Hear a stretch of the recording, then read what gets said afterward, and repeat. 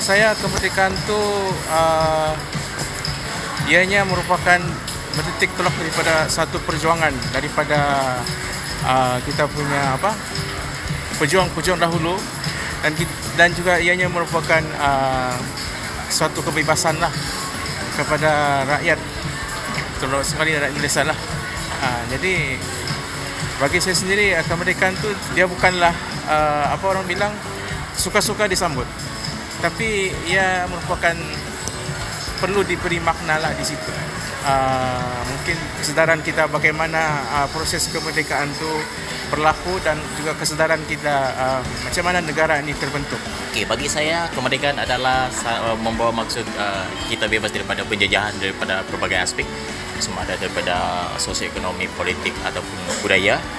Dan uh, cara paling mudah saya untuk uh, menyambut kemerdekaan atau uh, menzahirkan semangat kemerdekaan itu adalah dengan mengibarkan jalur gemilang. Tidak semestinya pada bulan kebangsaan tapi sepanjang bulan.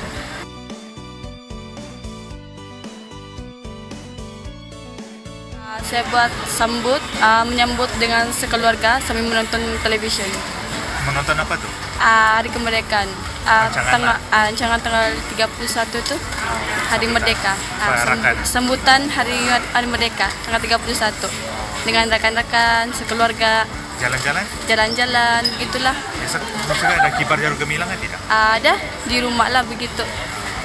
Jalan-jalan lah, jalan-jalan pergi ramai, tengok ramai-ramai kemerdekaan itu, menyambut kemerdekaan lah di pada merdeka begitu. Berjalur gembira lah di kereta begitu. Bendera biasanya. Biasanya sebelum sebelum 31 lah. Sudah pasang lah. Saya sudah pasang lah. Hashtag kemakmuran bersama, hashtag kita Malaysia.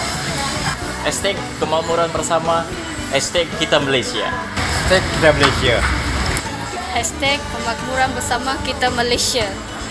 Hashtag kita Malaysia.